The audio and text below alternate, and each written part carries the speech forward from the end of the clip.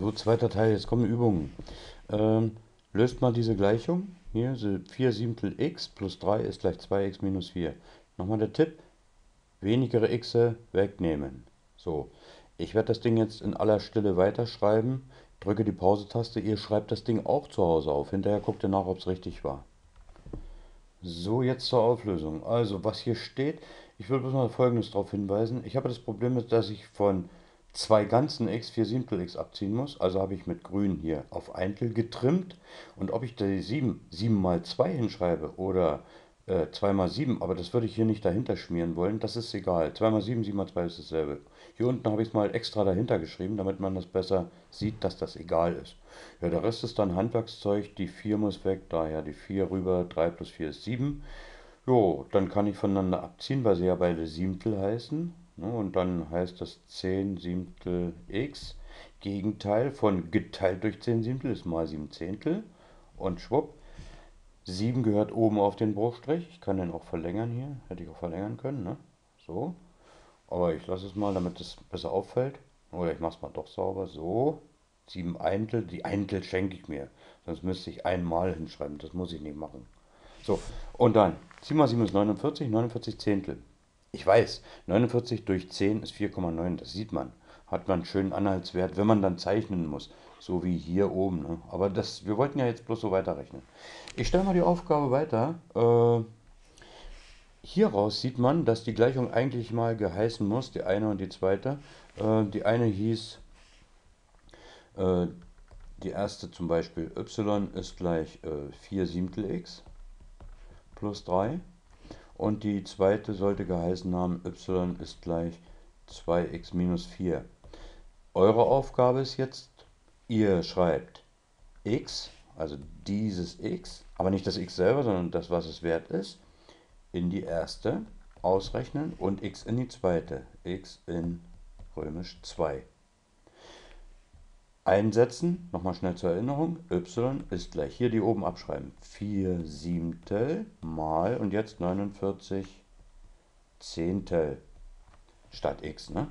Und dann plus 3 hinterschreiben. So, jetzt macht was draus und die zweite macht ihr auch und ich mache dann alles fertig und dann melde ich mich.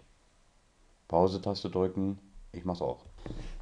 So, zur Lösung. Also eingesetzt und jetzt kann man kürzen, damit man sich nicht einen Wolf rechnet.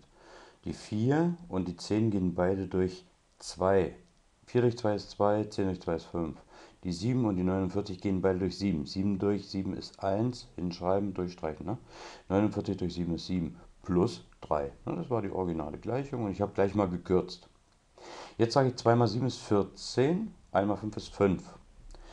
Plus 3 Ganze. 3 Ganze habe ich wieder mit grün gezeigt, dass es 3 Eintel sind. Erweitere mit 5, damit ich auf Fünftel komme. Streiche am besten gleich durch, damit ich nicht so viele Zeilen schreiben muss. 3 mal 5 ist 15, schreibe ich hin. 1 mal 5 ist 5. Immer hinschreiben. Was man nicht hinschreibt, sieht man nicht. Rechne zusammen, denn die heißen beide jetzt gleich, nämlich Fünftel. 14 plus 15 ist 29 Fünftel. Nebenbei mal ein Trick, wie man ganz schnell äh, auf einen Dezimalbruch, also auf Zehntel oder Hundertstel oder so ein Kram kommt. Hier mit 2 erweitern, hier mit 2 erweitern und ergibt 58 Zehntel. Dann kann man nämlich ganz schnell 58 Zehntel, 58 hinschreiben, eine 0, eine Kommastelle. Hier, peng, 5,8. Das gleiche hier. Ich habe 2x hieß es, 2 mal 49 Zehntel, was ich hier rausbekommen habe. Minus 4 ganze. Eintel draus gemacht mit 10er weiter, da gibt 40 Zehntel. Die heißen beide gleich. 98 minus 40 ist 58 Zehntel. Einmal kriege ich so raus, einmal kriege ich so raus. Beides ist das gleiche. Ich habe gewonnen. Ich drücke jetzt die Pause-Taste und erkläre noch, äh, schreibe da noch ein paar kleine Übungsaufgaben hin. Jetzt nicht auf die Art, sondern wie man noch mit Brüchen umgeht und dass man da keine Bange vorhaben muss, mit Brüchen zu arbeiten. Brüche sind nämlich genauer als Kommazahlen, die ich einfach so mal schnell hinten abschneide, wenn sie mir zu lang werden. So, ich drücke die Pause-Taste, ihr müsst das nicht machen, die, gleiche, äh, die nächsten Aufgaben kommen gleich. So, da sind die Aufgaben und zwar 25 Euro mal 3 Fünfzehntel. Das kann durchaus mal sein. Ähm, genauso wie äh, man nicht 3,15, sondern vielleicht mal 300 hinschreiben kann. Also vollkommen egal, vollkommen willkürlich gewählt. Und die nächste heißt, nehmen wir mal an, das wäre wieder so eine Gleichung, wo ich das x und das sei mal 27 Achtzehntel durch Zufall gewesen. Äh, macht das mal, kürzt mal und Achtung, hier, hier würde ich mal was macht man daraus am besten? 25 Zehntel, ne?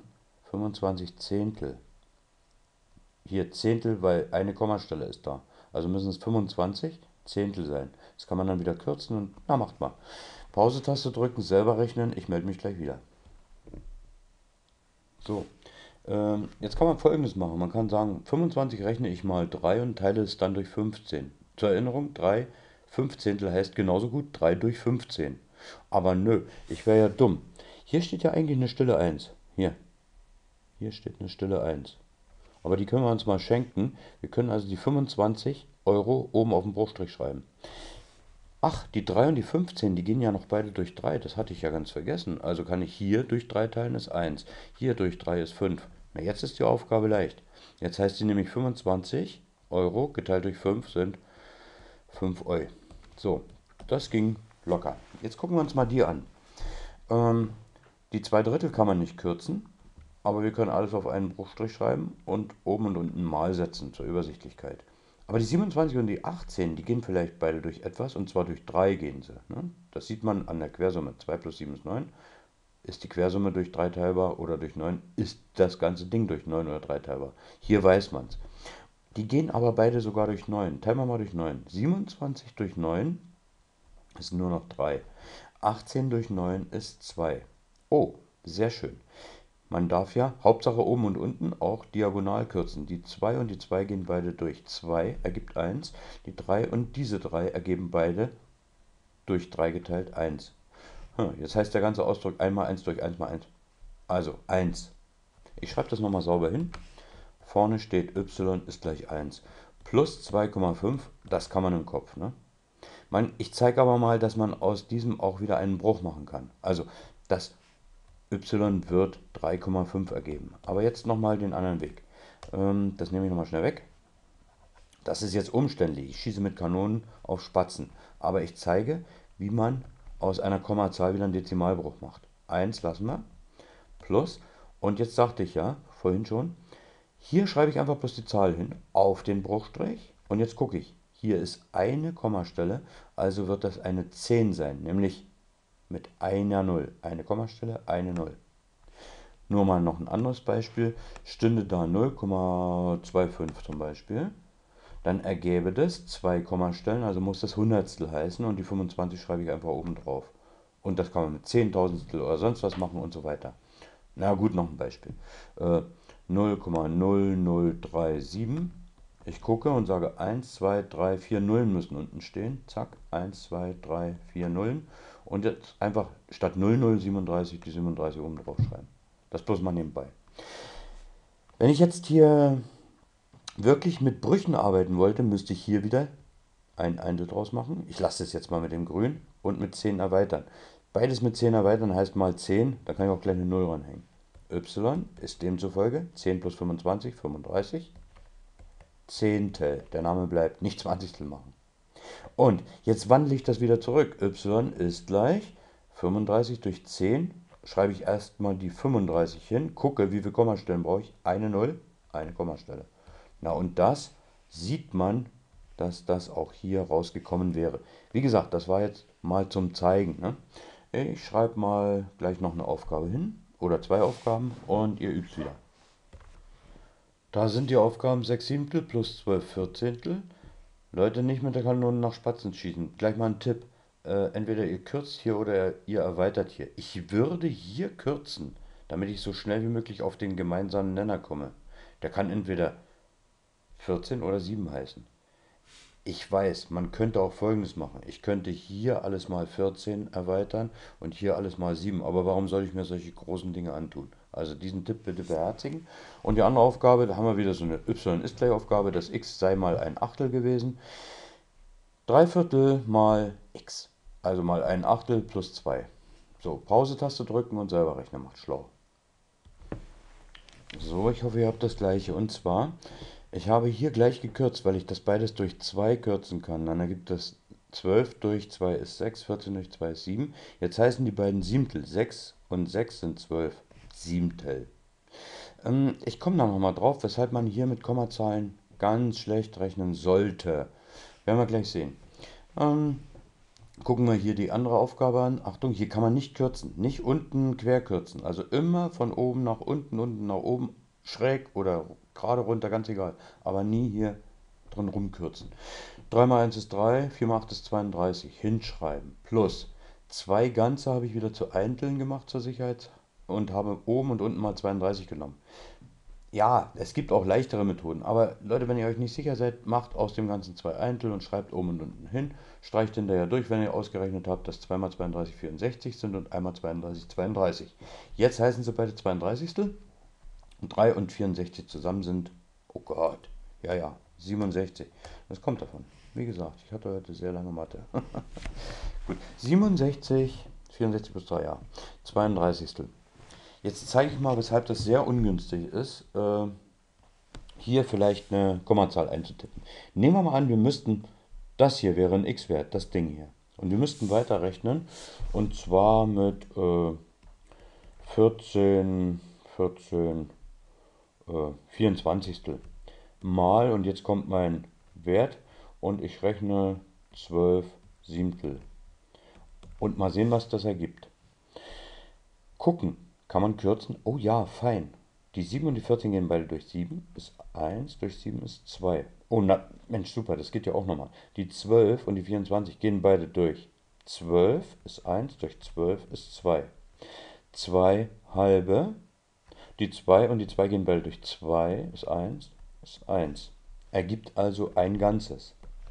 Wenn ich jetzt, und jetzt zeige ich mal, dass, dass das wirklich ungünstig ist, wenn ich jetzt sage 12 durch 7 tippe ich irgendwie ein, habe ich jetzt nicht die Muße dazu, ich muss das mal äh, kurz schriftlich darstellen, das wäre einmal, einmal 7 ist 7, ich ziehe ab bekannterweise, jetzt komme ich am Komma vorbei, 12,0 kann ich mir ja merken, also setze ich ein Komma, 50 durch 7 ist 7, 7 mal 7 ist 49, abziehen bleibt 1 übrig, 10 durch 7 ist 1, ist 7, bleiben 3 übrig, 30 durch 7 ist 4, 4 mal 7 ist 28 und so weiter und so fort. Und ich mache hier mit 1,714 weiter, weil ich sage, ach, scheiß der Hund drauf, ähm, das reicht mir an Genauigkeit, 3 Kommastellen. Das reicht vielleicht für sowas hier. Zum Schätzen, zum Ein Einzeichnen und weil genauer als genau äh, und Millimeter kann man kaum noch arbeiten. Und Mikrometer ist nahezu unmöglich sowieso äh, im Heft. Aber ich habe hier 1,714 und ich sage, okay, das war ja der Wert hier. Das ist, ist ja der gleiche Wert theoretisch, aber der ist nicht gleich. Denn der würde ja ewig weiter zu rechnen sein. Wenn ich jetzt sage 14 24 mal diese 1,714, wie geht das? Ach, äh, das ist ja leicht.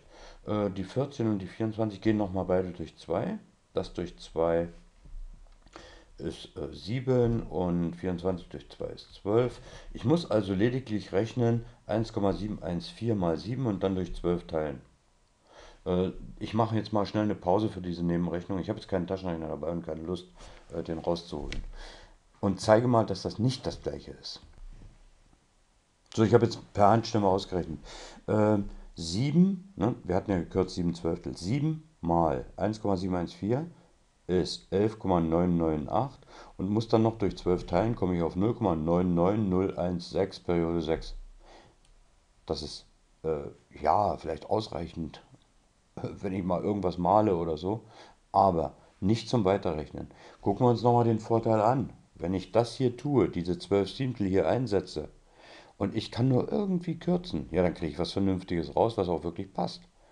Und wenn nicht, herrje, dann habe ich auf jeden Fall einen genaueren Wert, wenn ich Brüche einsetze, als wenn ich sage, ach naja, auf drei Stellen. Und wer macht das schon? Die meisten hören nach einer Stelle hinterm Komma auf.